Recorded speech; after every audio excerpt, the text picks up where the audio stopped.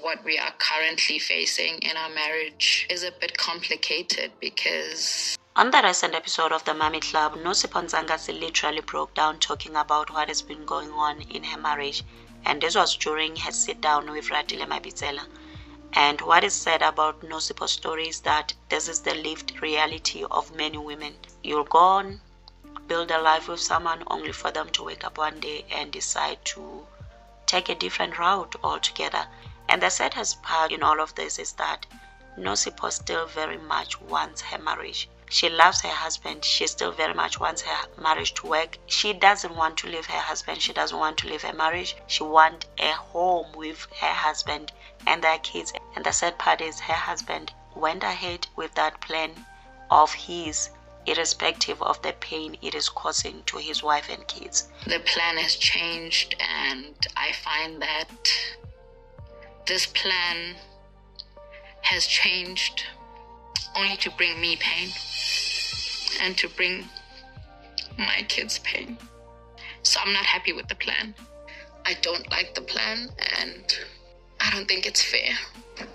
I don't think it's fair because what am I going to do? You spend 17 years building with someone. You spend your whole life not having to worry for birthdays or Christmases, you spend the rest of your life planning ukuthi masesina 50 so you know and then suddenly out of nowhere the plan changes. So it's been a lot. Italy was the 10 year plan and we were looking forward to it unfortunately um, i had to make a decision to cancel and see um, what life has in store moving forward. So, what had happened prior to this was that two weeks ago, if I'm not mistaken, came out rumors that her husband was taking a second wife.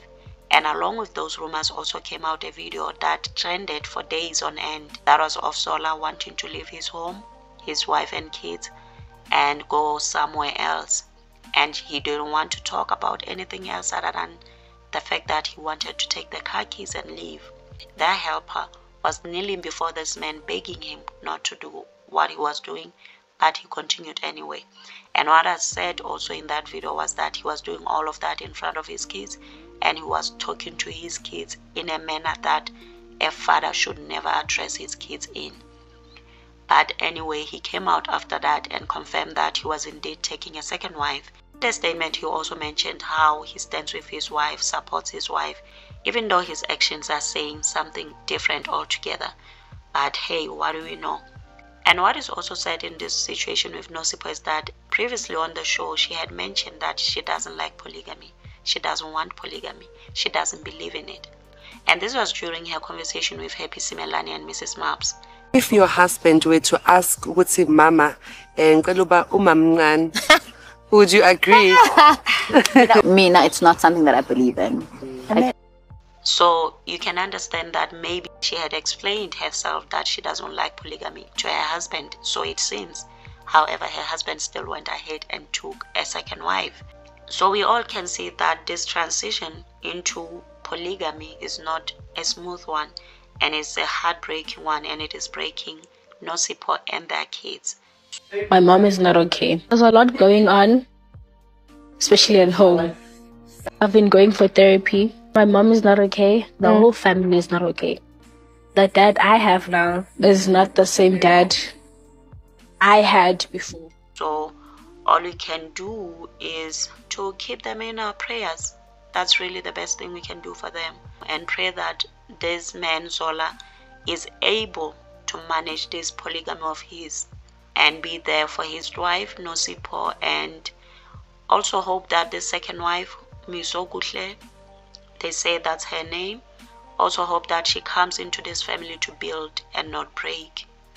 Her coming in is very hurtful. And now i'm assuming with all this i'm assuming that this second wife to be has always been in this man's life.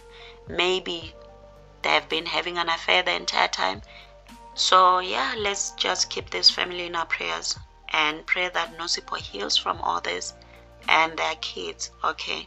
Otherwise, do share your thoughts in the comment section. Also, remember to subscribe, like, share. Until next time, bye, and thank you for watching.